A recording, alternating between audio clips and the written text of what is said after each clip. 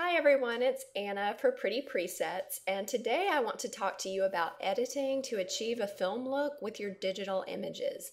So, the first thing that always strikes me about a film image versus a digital one is that film tends to have a bit less contrast than digital images.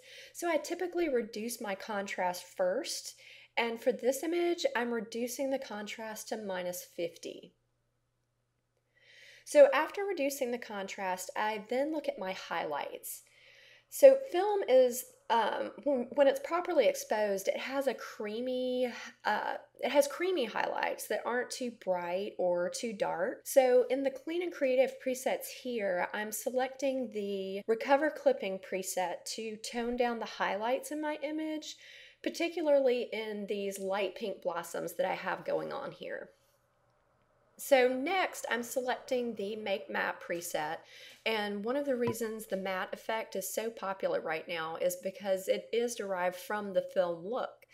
Now film tends to cause a flattening out of the blacks in some cases so when the Make Matte preset is applied it tends to lighten the blacks in your image to create that look.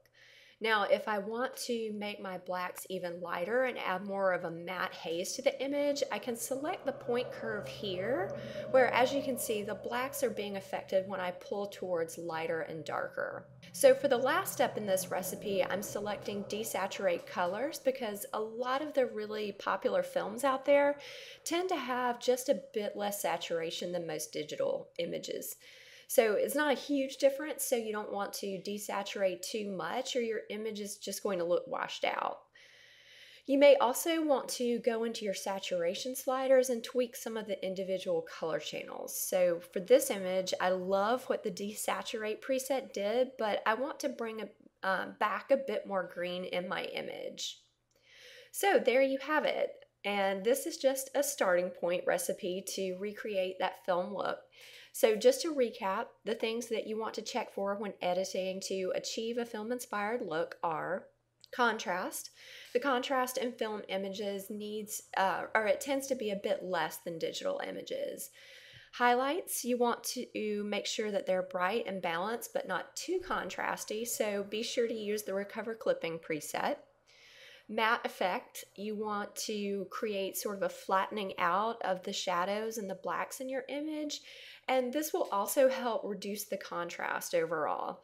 And finally, you want to look at saturation. You're probably going to want to reduce this a bit, but not too much because you don't want your images to appear washed out.